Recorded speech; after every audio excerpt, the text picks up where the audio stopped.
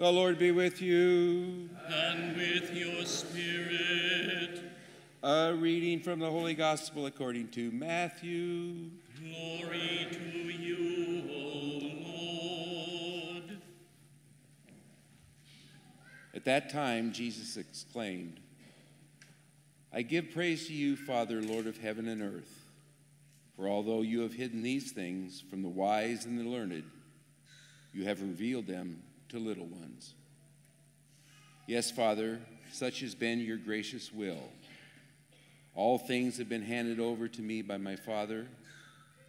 No one knows the Son except the Father, and no one knows the Father except the Son, and anyone to whom the Son wishes to reveal him.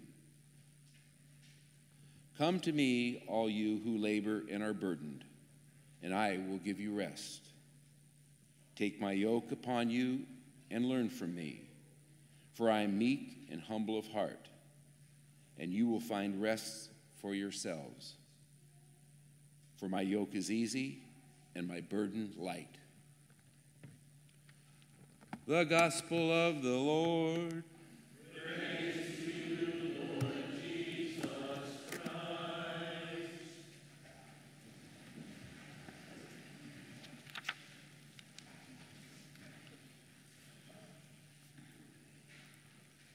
Well, as I start this homily, this might be a little bit of a downer. But I don't have to tell you that life just isn't easy all the time. And for the majority of us, or some of us, it gets just downright hard. Making our way in the world and all that it entails can at sometimes seem a little bit overwhelming. Financial concerns, health concerns, families, employment, even relationships. You name it, whatever it is, whether they're big or small, they are challenging. They can be exhausting, burdening, and sometimes even crushing us. And that depends on their frequency and their severity. Life on this earth is simply not easy.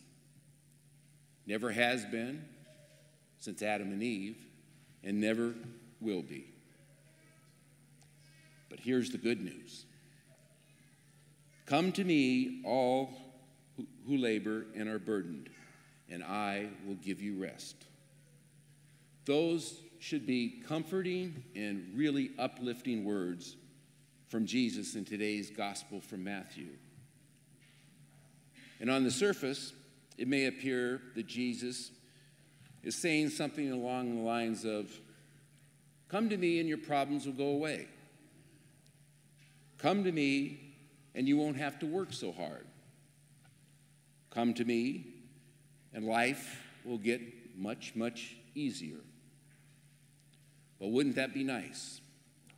Wouldn't anyone like that? But then there is this next line in Scripture that says, which adds a puzzling twist to the statement, I will give you rest. A twist to that statement. Take my yoke upon you. Now, I don't know about you, but when I hear the word yoke, I don't think of rest. I think of one thing and only one thing work, backbreaking and hard work. The, I think of the oxen of old plowing the rocky fields for planting, or a team of Clydesdale's horses pulling the heavy wagon. So, how is it possible that we can be at both at rest and laboring at the same time. Something just doesn't add up. But think for a moment.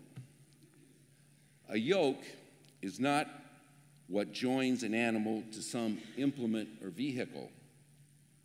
It's what joins one animal to the animal next to it so that they can both share the burden and work together. And when animals are yoked together properly, perfectly, and Jesus would know about yokes because he was a carpenter, and I'm sure he made a few of those. The work gets done a little more easily, and a little more comfortably, and a little more efficiently, and naturally. And so, Jesus seems to be saying, don't try to go it alone. Don't try to face the difficulties of life all by yourself.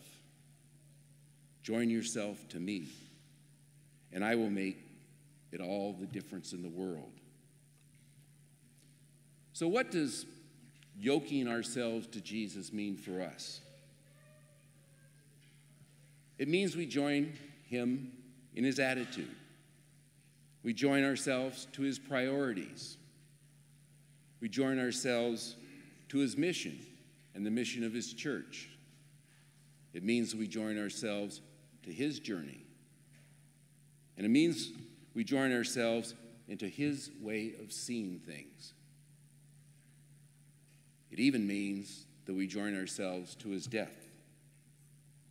And therefore, to his life, his resurrection life, an incredible and beyond anything we can imagine the joy and glory of heaven. And when we do that, when we unite ourselves to the Lord in a deep and lasting way, when we yoke ourselves to Him in such a way that everything He is becomes everything we are, the entire way we experience life will change.